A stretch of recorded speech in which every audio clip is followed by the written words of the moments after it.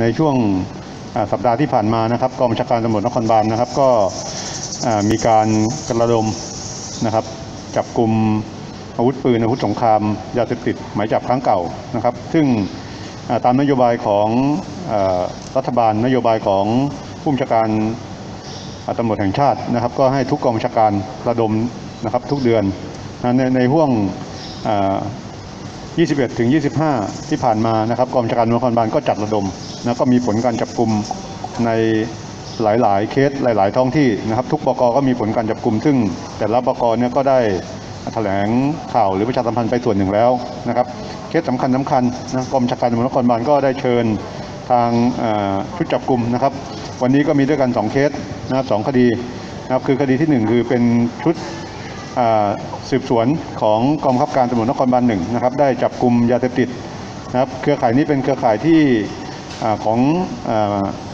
เป็นผู้ต้องหานะครับเป็นเป็นชาวที่รับสูงนะครับมาจากทางเชียงรายนะชื่อในในซิม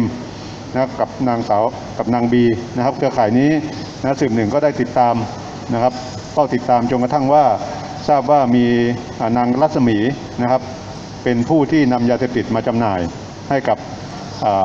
เจ้านายนะครับ หรือบอสที่ที่เรียกว่าบอสทั้งสองคนนะครับ ก็สามารถจับกลุ่มนางรัศมีได้นะครับที่คูบอนพื้นที่คันนายาวนะครับ หลังจากจับกลุ่มนางรัศมีได้แล้วก็เบื้องต้นจับกลุ่มได้เนี่ยที่ที่ตัวรัศมีเนี่ยมียาเสพติดอยู่ 1 0,000 เม็ดนะครับเพื่อจะนำส่งให้กับลูกค้า แล้วก็ขยายเข้าไปที่ห้องพักของอนางรัศมีนะก็พบยาเสพติดนะปรากฏเป็นยาบ้ากับ 4 0 0 0 0 0 เม็ดนะครับยาเคพันประขวดนะครับก็ เป็นยาเสพติดที่ปรากฏเป็นของกลางในวันนี้นะครับ ตามที่ได้นำเรียนพี่น้องสื่อมวลชนไปส่วนหนึ่งนะครับ นางรัศมีนะให้การว่าก็ตรงตามที่สืบหนึ่งได้สืบสวนมานะครับ ว่ายาเสพติดดังกล่าวนั้นเป็นของอในซิมหรือบอสแล้วก็นางสาวบีนะครับ ซึ่งขยายผลไปที่บ้านพักนะครับของทั้งคู่ในพื้นเขตพื้นที่ของอล่มเก้านะครับล่มเก้าก็ พบนะครับเป็นอาวุธปืน แล้วก็ยาเสพติดอีกจำนวนหนึ่งในในบ้านดังกล่าวนะก็จับกลุ่มผู้ต้องหาได้เพิ่มอีกนะสี่คนนะครับในเคสนี้ก็เป็นอาวุธปืนนะที่พี่น้องสื่อมวลชนได้เห็นนะครับเป็นอาวุธปืนที่มีความร้ายแรงนะครับอาวุธสงครามบ้างบางส่วนนะครับ ทั้งหมด 14 กระบอกนะครับ 14 กระบอกนะครับก็ปรากฏเป็นข่าวที่ที่นำเรียนพี่น้องสื่อมวลชน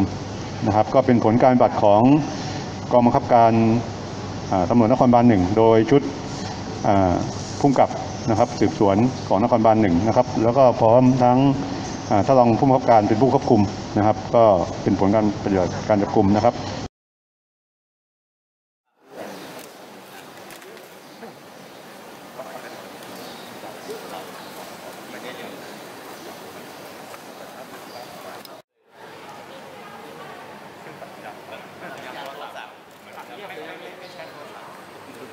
เราตามกันโทรศัพท์มันทำให้ยากใช้เวลานาน